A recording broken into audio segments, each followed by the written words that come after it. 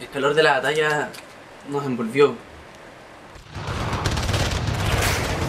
No, no puedo describir la desesperación de ese momento. Fue. Yo corrí, corrí.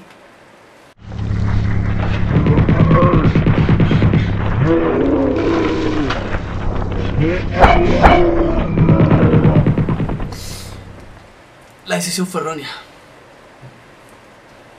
Nos mandaron al infierno. Al infierno.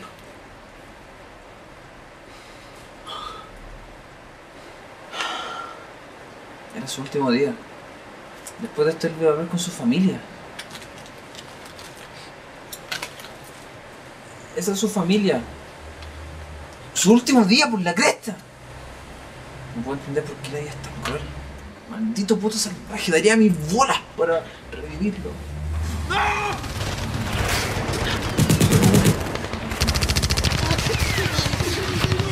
No puedo, no puedo creerlo, no.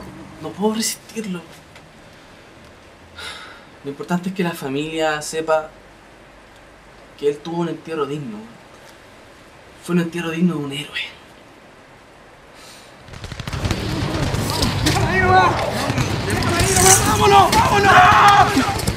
Yo traté de levantarlo. Luchamos. Es que el pesa demasiado. Estaba con sobrepeso y no estar llevando guanes de más. No es que no lo quisiera levantar, yo, yo tengo un grave problema lumbar, ¿ya? Eh, un- me duele, yo no puedo levantar más de 5 kilos. No, no lo dejamos. Puse todo mi esfuerzo. Era, éramos amigos, sí. ¿Para qué tanto? Un verdadero héroe, un grande.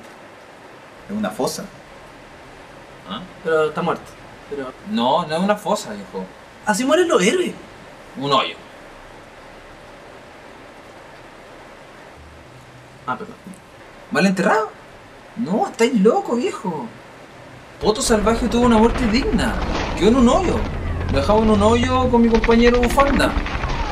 No, no, no, una muerte digna de un héroe. Yo estoy orgulloso de su muerte. Orgulloso del lugar donde quedó para el resto de su vida.